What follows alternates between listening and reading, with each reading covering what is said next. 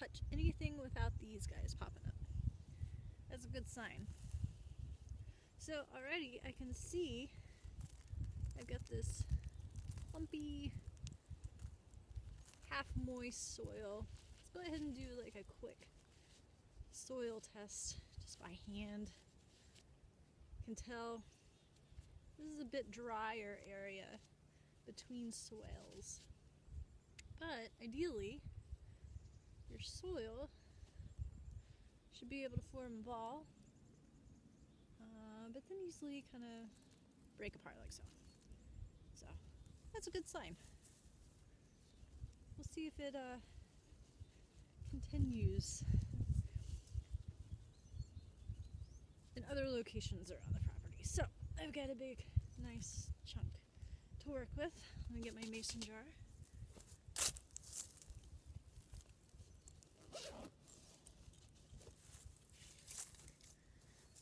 So you really just want to fill up, see, mason, see if you can see it there. I'm going to put about halfway up the mason jar. You do, oh, there's some plant matter in there. Don't want the roots. Want the plant. I'm very happy to see that the soil looks this way. Very encouraging. So yep, that's about halfway, about 200 at the mark. Yep. And we're gonna fill this with water let it sit for a while and then we'll be finished.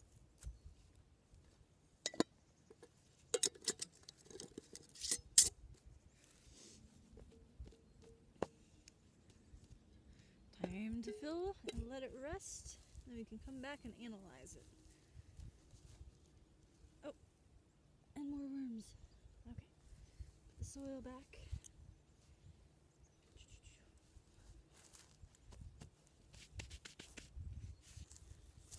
Good girl. Oh, come here.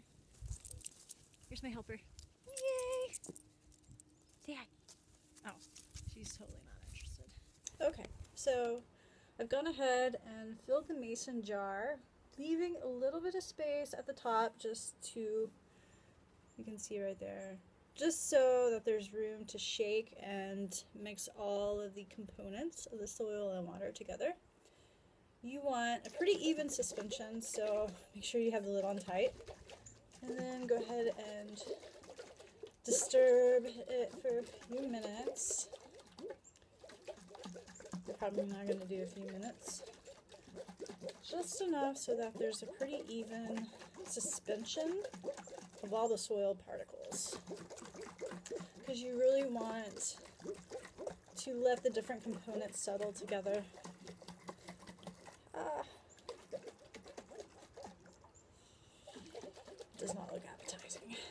I usually eat out of mason jars. Won't be eating out of this one. After some bleach. Be my victim of the garden. So we're gonna do this. Let's see. Yep. Looking kind of like a smoothie. A really nasty smoothie. So you can see. Oh, squirrels. I knew I should have brought Lacey out here. Okay, so you can see, I think, maybe, that it's pretty even. So we are going to let all the particles settle and then come back and check on it in a little while.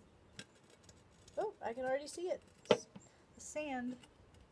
Wow, that happened pretty quickly, actually. Let me shake it better. See, maybe you can see it. I think there's a bit of a glare. Um, anyways, right about this line, you can see the heavier particles already settling and creating kind of like a a layered effect with themselves. So we will see. We'll just let that continue to settle. Hope for the best. Okay, so it's been a couple hours.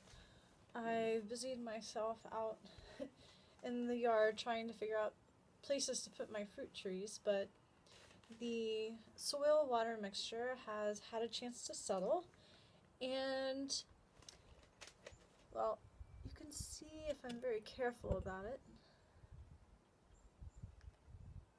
demarcations so at the top of course is the the water with a little bit of soil left in it.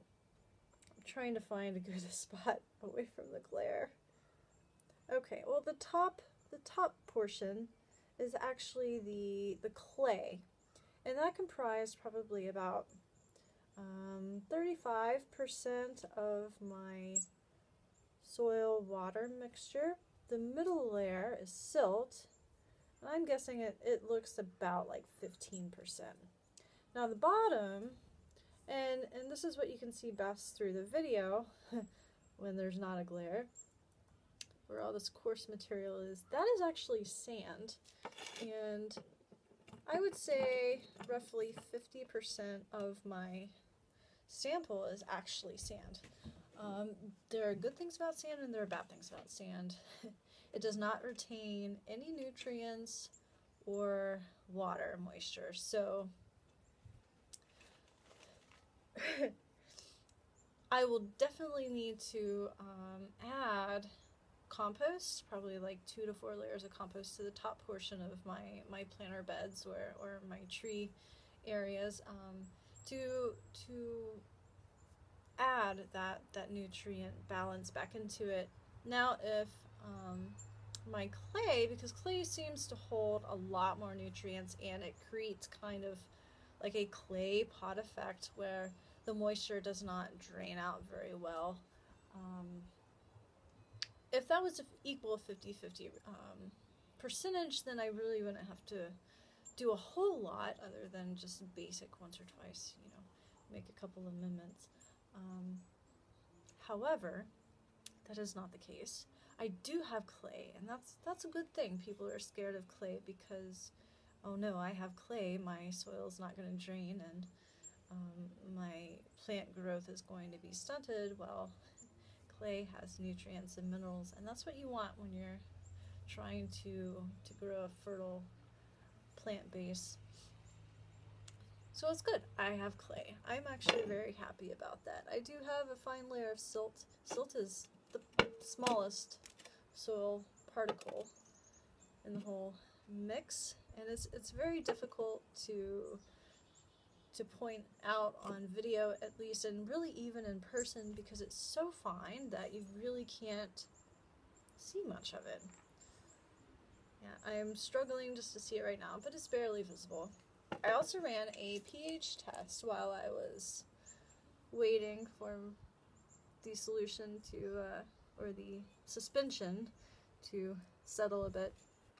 And you can see, here's my it's a six dollar kit is actually not super reliable, but it's the best I have right now. Um, slightly green, which actually means well, look at that pH neutral. So that's that can be a good thing or a bad thing depending on the plant. Um, I think it would be easier to start out from a pH neutral and work your way up or down based upon the location and plant needs, but um, so, so really what I've gathered from this is that whatever I plant in that area, I'm laughing at my cat because he's, he's having a moment. um, whatever I plant in the area, I know it's going to have adequate drainage because of the sand, and I know it's going to have enough mineral and nutrient content to um, to be at least mildly fertile. Now, if I want to really step up production, then of course I will want to um, add compost or, or, fish emulsion, something to provide that extra nutrient um, input.